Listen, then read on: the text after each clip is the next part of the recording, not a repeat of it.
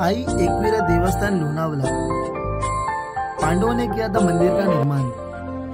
पौराणिक कथा के अनुसार, यह मंदिर वन में अपने निर्वासन के दौरान पाँचों पांडव भाइयों ने एकवीरा गुफा में मिलकर मंदिर की स्थापना की थी।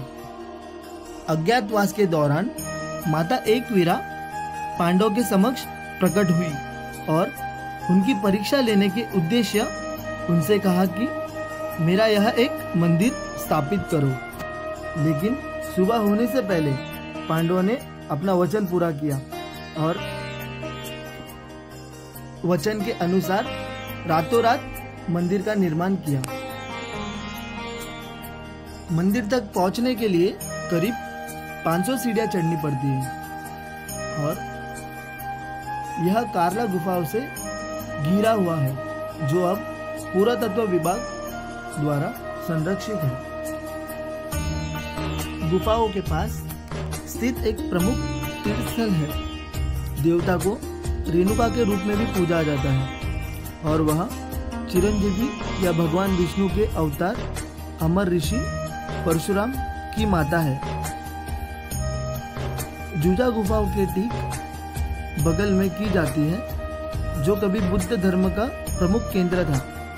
मंदिर की मुखिया देवी एकवीरा आई है और उनके भाई और जोगेश्वरी देवी है। एकवीरा आई की पूजा दैवज्ञ ब्राह्मणों द्वारा की जाती है और वह कोली और सुनार समुदाय की कुल देवी भी है। मंदिर में आगरी कोली लोग और कोली मछुआरों भी आते हैं।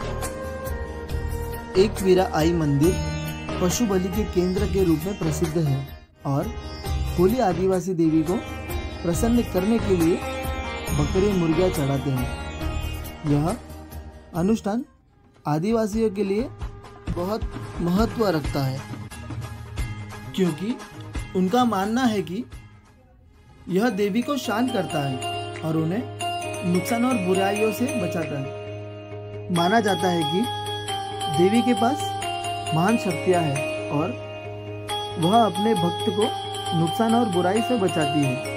उन्हें शक्ति का प्रतीक कहा जाता है। वह अपने उपासकों को शांति और समृद्धि प्रदान करती है।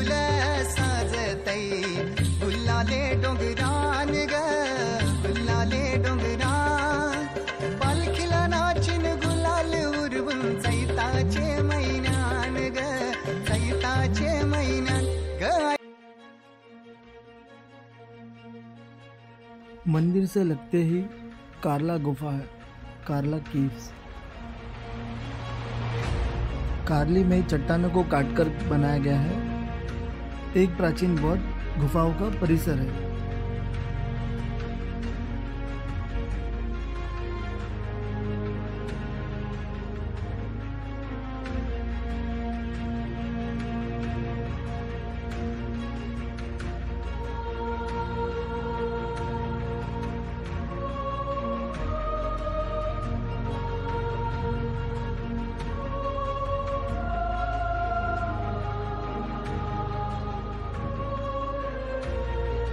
अगर आप लोगों को ये वीडियो पसंद आया होगा so please like comment share और सब्सक्राइब कीजिए।